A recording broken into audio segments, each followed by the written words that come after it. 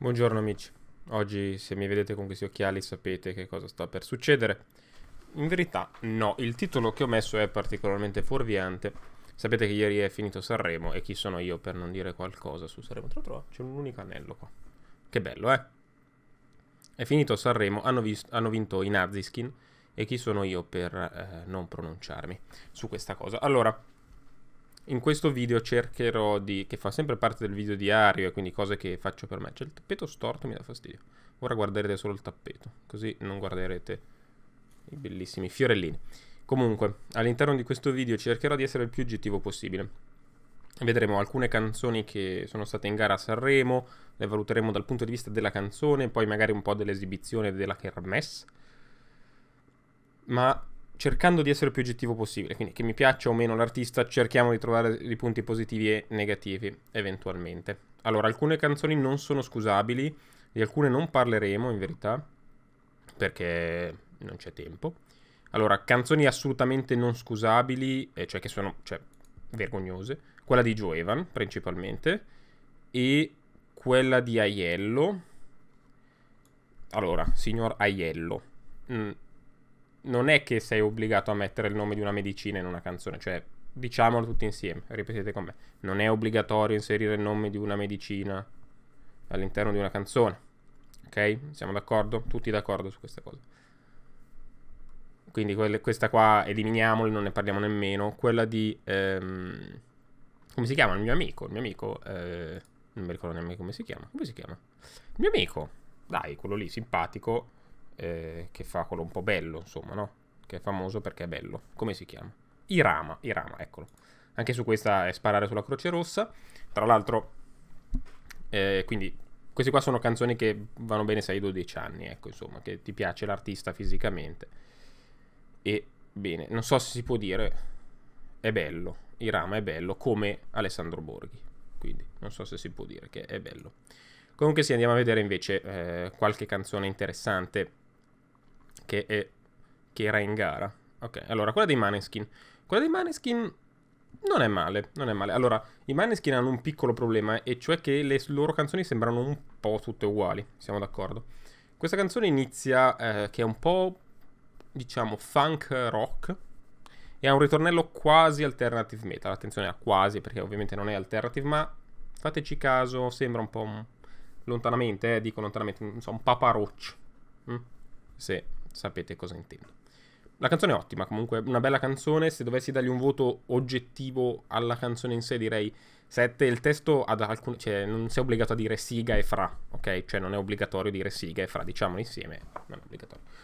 Come esibizione, come mm, valenza per l'Eurovision, sicuramente esteticamente sono adatti, la canzone forse non tanto all'Eurovision. Una volta ha vinto Hard Rock Alleluia, siamo d'accordo. Però esteticamente invece molto adatti, diciamo ottima esibizione, anche ci credono molto, sanno tenere il palco, bravi, bravi, bravi.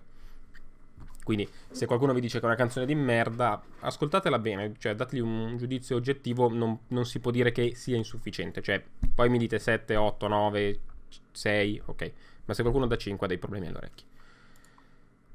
Francesca Michelini e Fedez, chiamami per nome. Mm, bella, a me piace molto, perché mi piace molto la Michelin. E tra l'altro... Eh, ci sono state polemiche sul fatto che Fedez non sappia cantare, io cioè sinceramente non ho capito da dove arrivano. Non ha una bella voce, come timbro magari, come espressività. Ma non si può dire che non abbia la tecnica. Tra l'altro nella serata cover hanno cantato quel medley che è difficilissimo da cantare. Andate a sentire Fedez come canta, come fa i cori, come fa le doppie, gli attacchi, i tempi. È perfetto. Cioè la tecnica di canto di Fedez è perfetta, non gli si può dire niente. Quindi se qualcuno dice che Fedez non sa cantare ha dei problemi alle orecchie. Comunque invece la canzone mm, che hanno portato, bella, mi piace molto il ritornello, devo dire. Se gli dovessi dare un voto, 7, anche questa. Ermal Meta, eh, no, un milione di cose da dirti. Non mi piace Ermal Meta, sinceramente. Non è una canzone brutta, 6, cioè non, non mi dice nulla, ok, bravo. Con la pesce di Martino, musica leggerissima invece, mi piacciono molto con la pesce di Martino in real life. Mm, questa canzone è un po' strana perché si sente che ha delle influenze forse un po' troppo eh, neomelodiche, soprattutto nel ritornello, però è bellissimo, molto divertente, forse la, una delle canzoni più belle del festival. 8 per questa canzone, bellissima perché loro sono molto bravi. Comunque c'è tutto, c'è il testo, c'è il testo, ecco, forse il testo più bello di tutta la kermesse, si può dire, sì. Eh, ottimo testo, ottimo arrangiamento, le voci, tutto bellissimo. Dal, ecco, dal vivo non è che sono così incredibili eh, sul palco, però va bene così. Irama, togliamo Willy Peyote, è una canzone di Willy Peyote, bene. Annalisa molto brava, ma non ci interessa. Andiamo sulla canzone importante, la Madame, mm, Madame, ecco, quella di Madame mi sembra molto sopravvalutata. Mm, piace molto ai giovincelli, diciamo. Mm, però non è un granché. Cioè, ascoltatela bene. Non è un granché. Può dare di più magari con qualche altra canzone in futuro? Sicuramente.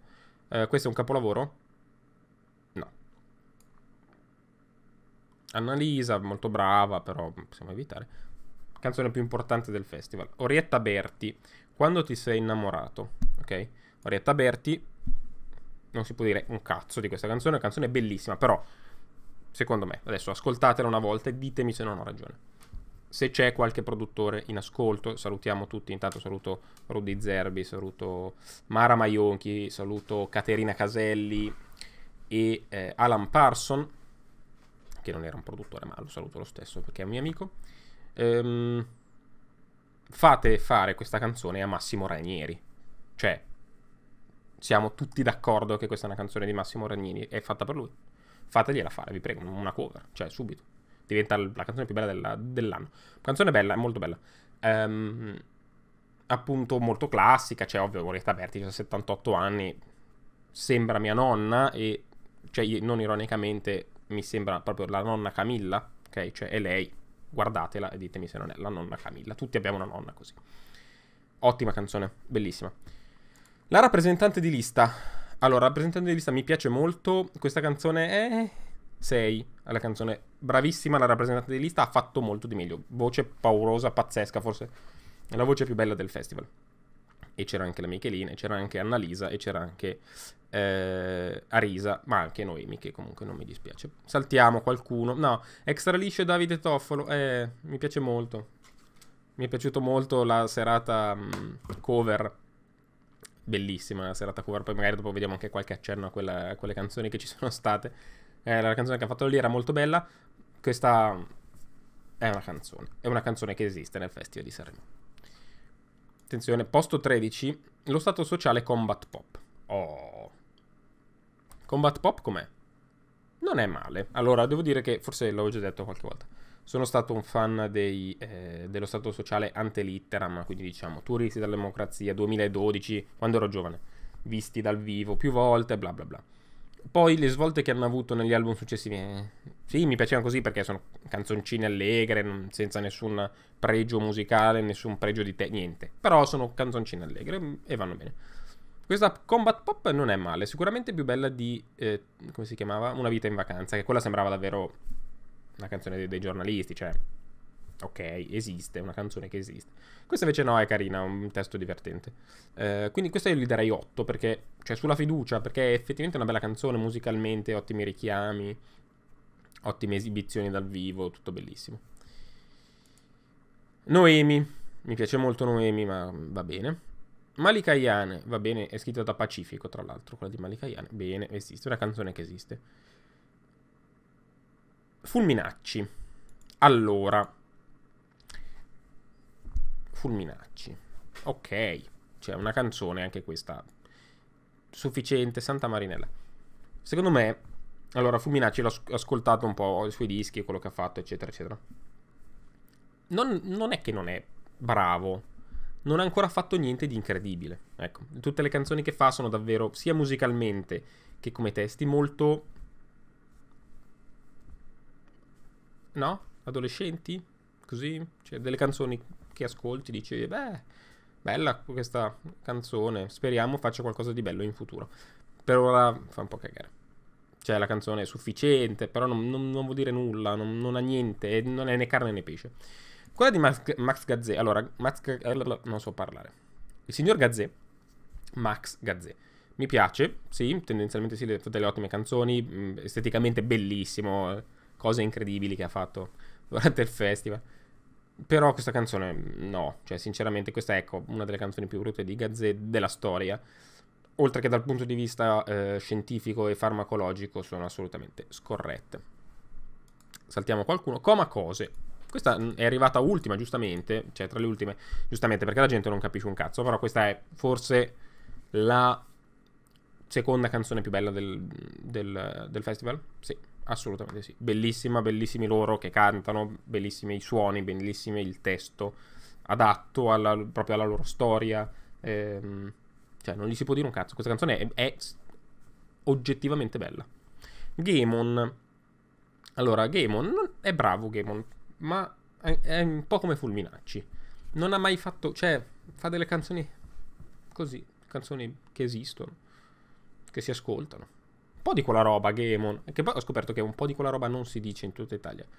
Eh, se sapete cosa vuol dire, bene, meglio per voi. Però dai, un po' di quella roba. Spero che la gente inizi a utilizzarlo. Ma appunto, vabbè, Francesco Renga. Sparare sulla Croce Rosa, giù Evan, non lo contiamo. Bugo. Signor Bugo, cosa mi combina? No, allora, Bugo mi piace molto anche lui. Ehm, la canzone è molto bella se l'ascoltate in studio, belli, cioè molto bella, influenze battistiane, Adriano Pappalardo, un po', se volete, bellissima, molto bella, però dal vivo mi dispiace, cioè no. A differenza di, di, di Fedez, che invece è perfettamente intonato, perfettamente a tempo, capisce perfettamente gli attacchi, sa fare i cori, quindi non gli si può dire un cazzo dal punto di vista del cantato. Bugo ha questo problema di essere un po' stonato, come era Battisti, siamo d'accordo? Sì, Battisti non cantava dal vivo perché era molto stonato si può risolvere? Credo di sì, non sono un insegnante di canto, ma credo si possa risolvere. Perché non è stato risolto fino adesso? È un'ottima domanda, non lo so. Peccato, cioè, peccato perché poi sul palco ci, sta stare, ci sa stare bene, ma gli manca, no? Un po' di quella roba. Aiello abbiamo già detto, vabbè lasciamo stare. Andiamo invece, ah no no invece menzione d'onore nuove proposte. Secondo me la canzone che non ha vinto è la canzone più bella del... è bellissima. Regina di Davide Shorty è, be- è una canzone della Madonna. Doveva vincere Sanremo Big. Però evidentemente la gente non capisce un cazzo. Allora, così, faccio il previsione, che non vale un cazzo perché... Regina di Davide Shorty sarà la canzone più famosa di questo festival, vedrete questa, quest'estate. Perché è bellissima. Cioè, è proprio bella. Allora, andiamo invece a vedere, giusto così, per dire qualcosa sulla terza serata mh, mm, cover. Allora, partiamo da esibizione bellissima che appunto fa rivalutare Fulminacci, Fulminacci, Valerio Rundi, Lundini e Roy Paci. Eh, penso positivo, capolavoro, soprattutto per la parte di Lundini e mi è piaciuto molto Fulminacci che parte mh, mm, suonando il groove uh, di batteria della canzone. Bello, mi è piaciuto molto. Extra liscio e Davide Toffolo, bello. Rosamunda Medley, molto divertente. Bugo i pinguini tattici, un'avventura. Ok, che Battisti era stonato come una campana. Ho capito che stai citando il fatto che era stonato. Eh, no, mi spiace. Francesca Michelin e Fedez, bellissima. E allora Felicità, bellissima. Molto bello l'arrangiamento, molto bello... Mm, eh, come, è stata cantata, molto difficile da cantare, molto belle le canzoni scelte, perfetto, molto bello che inizia con lei al pianoforte, bellissimo. Irama Cirano mi dispiace. Cioè, Cirano è una delle mie canzoni preferite nel mondo di Guccini. Vabbè. Maneskin e Manuel Agnelli amandoti, bellissima. Cioè, capolavoro. Capolavoro. Willy Peyote, Samuele Bersani, giudizi universali. Vabbè, grazie al cazzo, fai giudizi universali come fa a far cagare? No? Siamo d'accordo?